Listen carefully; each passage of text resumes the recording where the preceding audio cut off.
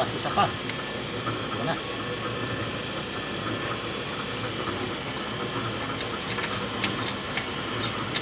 So parang may matatamaan mga katropa. Spacer. Mamaya na po yun.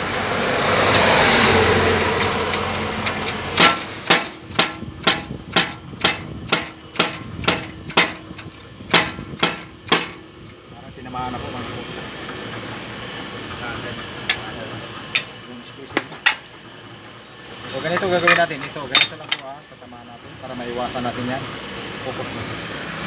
Para maiwasan po natin yan mga katropa. Spacer yan. Pwedeng tanggalin yan pero kasi eh wala na tayong panahon para tanggalin yan. So iwasan na lang natin yan.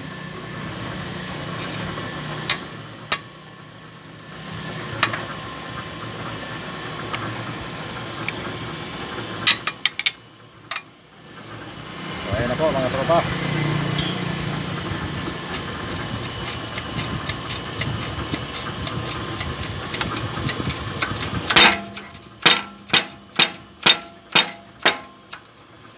Far mga katropa.